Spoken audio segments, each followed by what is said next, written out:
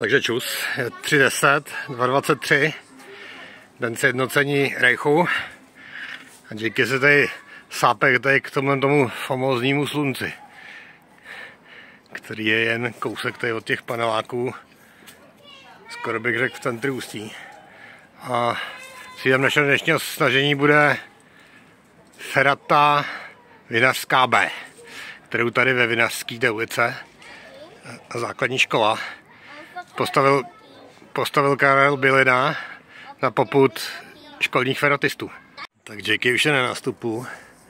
A ferata vede tady tady podél čedičových píšťál. Tady nějakým nějakých děr.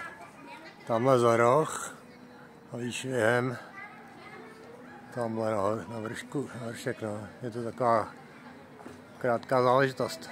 Bobe, jak ti přišel ten úsek, tady tenhle ten, jak jsme lezli teďka? Lehký, těžký? Těžký. Těžký, viď? Převislý. Bál ses? Bál, protože to je hodně. Je to do převízku, ale je to, je to pěkný. Ty, mám tady ten traverzík. Ale má tady různý stupy, no a tahá to, no, tahá to za ruce. To. Že tátovi to nějak nejde, ale ještě tady jenom stojí. Kniha tady není, podívej se, tam je stojánek na knihu a chybí. To nějaký pitomec od dnes. Aha. My jdeme tady výšvihem a... Jak se ti to líbilo? Jak, jak bys to hnotil na stupnici 1 až 10? Dal by si tomu 1 z 10, 2 z 10, nebo 3 z 10, nebo 8 z 10? No? 9 z 10? To ne, to je takový kvak tohle.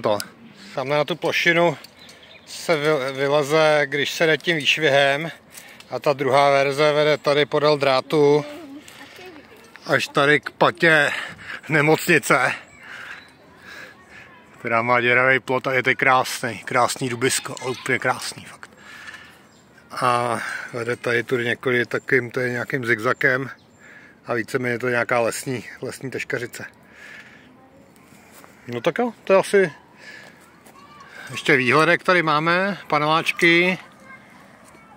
Tamhle Milešovka kletečná, lízátka zimního, eh, lízátka fotbalového stadionu. No, pohoda jazz.